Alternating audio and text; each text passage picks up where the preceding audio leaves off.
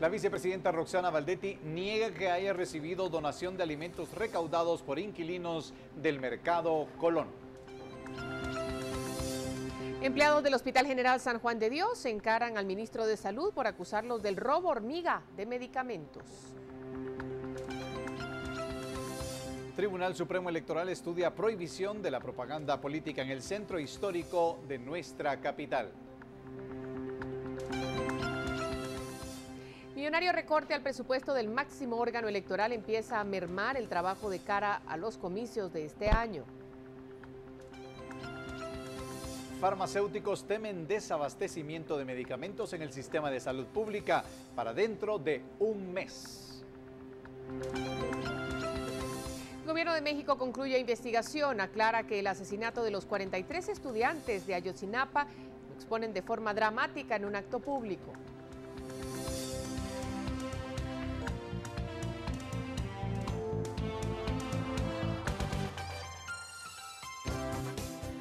Esta es la emisión estelar de Noticiero Guatevisión con María Luisa Gómez y Emilio Gracias.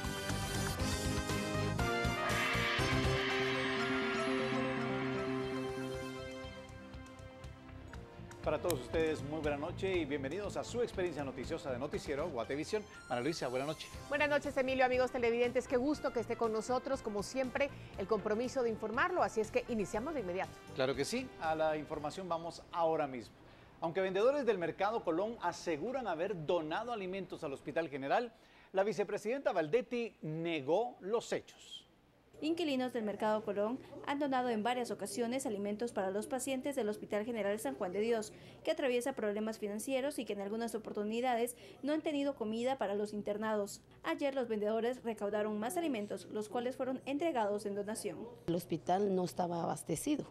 Entonces nosotros en el Mercado Colón, la directiva del mercado y la directiva del Comité Católico nos pusimos de acuerdo en pedir colaboración. Entonces la colaboración la recibimos en inquilinos, personas que nos visitan y alrededor del mercado. Aunque el viceministro de Hospitales agradeció la entrega voluntaria de estas personas, la vicepresidenta, en lugar de agradecer el aporte, rechazó los hechos y negó que se haya recibido la donación. No entregaron nada. El, yo, miren, yo sé lo del Mercado Colón, pero averigüen, no llegaron nada porque el ministro de Salud les fue a hablar a los del Mercado Colón, hicieron un acuerdo que si él realmente tenía necesidad, les iba a comprar a buen precio, pero averigüen, no, se pusieron de acuerdo y lo lograron pagar. Las donaciones no deberían ser necesarias debido a que el Ministerio de Salud tiene asignados 5.647 millones de quexales para prestar el servicio médico de manera gratuita y comprar medicina, material, infraestructura e incluso la comida de quienes requieren atención médica. Por una Guatemala en paz, Dulce Rivera y Juan Carlos Pérez. Y vamos a conocer ahora cuáles fueron las reacciones en las redes sociales sobre las declaraciones que dio la vicepresidenta Roxana Valdetti sobre la donación de alimentos. El rechazo fue generalizado debido a la contradicción, ya que ayer el viceministro Israel Lemus aceptó la donación y hoy la vicemandataria dijo que no. López Giovanni escribió, hay gente buena también en Guatemala. Chapulín Jorge Orellana comentó, esa fue idea de los vecinos del mercado. Ellos se robaron lo del pueblo y no ayudan y ni dejan que ayuden. Yo digo que si se va a lanzar de alcaldesa, que lo piense muy bien. Con más euforia, Christopher Gutiérrez opinó, Valdetti que tenga dignidad y que se retire de una vez por todas del gobierno. Es la peor vicepresidenta que es una vergüenza para Guatemala. Alex Enz David publicó, campaña o no, no importa. Lo cierto es que el hospital está en crisis como todo el país y Roxana Valdetti no lo quiere aceptar.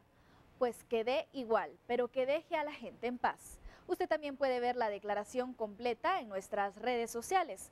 Recuerde que para seguir comentando, escríbanos a nuestro Facebook que lo encuentra como Guatevisión y en Twitter como arroba guatevisión-tv. Nuestra página oficial es www.guatevision.com.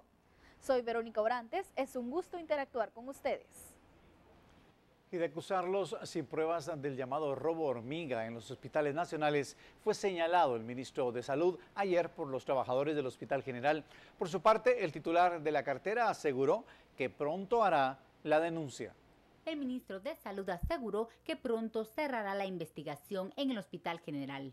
Tiene nombres que pronto presentará ante las autoridades, afirmó. Efectivamente, cuando tengamos los nombres, agotadas las investigaciones, no se les dará a conocer solamente, se presentarán las denuncias ante el Ministerio Público y ellos seguirán ahí encarados entonces en función a las evidencias que estemos mostrando. También mantiene auditores para llevar el control de las entradas y salidas de los hospitales nacionales. En el caso de Quetzaltenango y el San Juan de Dios se establecieron dos equipos de auditores concretos que inicialmente en Shela empezaron con 16 auditores en los que se incluían dos médicos y pudieron establecer eh, problemas con diálisis en donde habían eh, más de 336 diálisis que se habían practicado a personas que no formaban parte de la asistencia del hospital y aspectos relacionados al uso del combustible, al precio de las compras de los alimentos, la carne, el pescado y el pollo, por ejemplo, tenían arriba del 40% en relación al precio que se estaba vendiendo en el mercado. Monterroso se pronunció por los paros y tomas de carreteras que anunciaron los sindicalistas. Quien esté promoviendo un paro porque se están estableciendo controles, muy probablemente está involucrado en una acción anómala y la evidencia clara de que su involucramiento es establecer una lucha en contra del control y de la transparencia. Por una Guatemala en paz, es Melgarejo. Y más noticias, hoy fue juramentado el nuevo superintendente de la Superintendencia de Administración Tributaria. Con el nuevo nombramiento, las autoridades esperan llegar a la meta de recaudación. Omar Franco fue juramentado como el nuevo superintendente de Administración Tributaria. Con este nombramiento, las autoridades esperan que se logre la meta de recaudación, que para este año es de 54.700 millones de quetzales.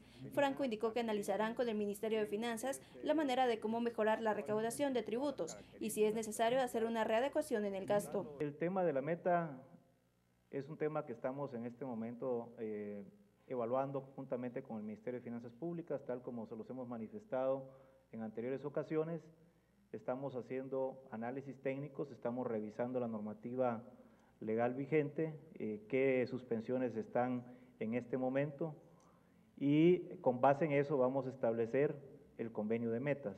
Franco era el intendente de recaudación y asumió el cargo para reemplazar a Carlos Muñoz, quien fue destituido al no alcanzar las metas de recaudación previstas. Por una Guatemala en paz, Dulce Rivera y Juan Carlos Pérez. Por otro lado, tanto la DIACO como la Procuraduría de los Derechos Humanos han registrado denuncias en contra de centros escolares privados y públicos por cobros indebidos. Veamos. 230 denuncias ha registrado la Dirección de Atención al Consumidor y 10 la Defensoría del Consumidor de la Procuraduría de los Derechos Humanos en contra de establecimientos educativos durante el mes de enero. Las denuncias recibidas por la DIACO se deben en su mayoría a que se les solicita a los alumnos materiales cuyo valor debe ser cubierto por el centro escolar. Muchas también son porque no quieren devolver la papelería. Eh, otra gran cantidad es porque les están pidiendo materiales que no son de acorde como útiles. Entonces están pidiendo productos de limpieza que un alumno no tiene que llevar alcohol, servilletas, papel higiénico. Por otra parte, las imputaciones recibidas en la PDH son por imposición de la compra de útiles escolares por ejemplo, eh, una lista de un niño de sexto primaria cuyo valor llegaba ya a los 4 mil quetzales, por ejemplo. Otra denuncia también en donde se establecía que querían específicamente una marca de productos y si no, no les recibían esta. Es el Ministerio de Educación a quien le compete determinar la sanción, la cual puede ser de hasta un total de 70 salarios mínimos no agrícolas, es decir, hasta 167.608 quetzales. La sanción eh, Depende de la infracción, puede ser sancionado y depende del, centro educativo. En el caso de Diaco, pues no, la ley no permite cerrarlo y por eso se tiene alianza con el Ministerio de Educación y el Ministerio de Educación sí puede cerrar un centro educativo. Hasta hoy, ninguno de los colegios o institutos denunciados han sido sancionados con una caución económica. Por una Guatemala en paz, Silvia María Corso y Luisa Che. En más información, luego de una semana en la que el precio de la libra de carne se fijó entre 28 y 31 quetzales, esto es lo que ha verificado las autoridades. Veamos. De acuerdo a la Procuraduría de los Derechos Humanos, no se ha registrado un alza a la carne desde que la semana pasada los abastecedores y expendedores establecieron que el precio sería entre 28 y 31 quetzales. Consumidores nos han manifestado que han adquirido la libra 28 quetzales y la carne es demasiado dura, es decir, de muy baja calidad y los cortes finos oscilan entre 35 quetzales. Esto realmente es lamentable. Mientras tanto, los carniceros analizan la posibilidad de formar una cooperativa que les permita funcionar también como abastecedores y así no depender de las tarifas impuestas por ellos. Beneficio, beneficio no hemos sacado nosotros, ¿verdad? Si no sacamos nosotros beneficios como expendedores, eh, lamentablemente el consumidor final tampoco no va a ser beneficiado. Esperemos de que el gobierno pues acuda a nuestras peticiones. La Diaco continúa con la verificación de los precios para garantizar que se cumpla lo acordado entre los abastecedores y expendedores de carne. Recordemos que la, ley no permite que la Diaco ponga precios fijos ni precios topes, ni siquiera que, pueda sugerir los, los precios. Sin embargo, la DIACO está comprometida a realizar los monitoreos y las verificaciones. Por una Guatemala en paz, Silvia María Corso y Luisa Che.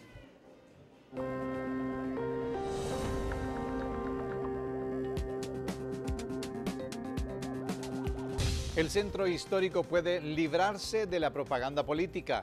Le diremos cómo cuando volvamos de la publicidad. No se vayan.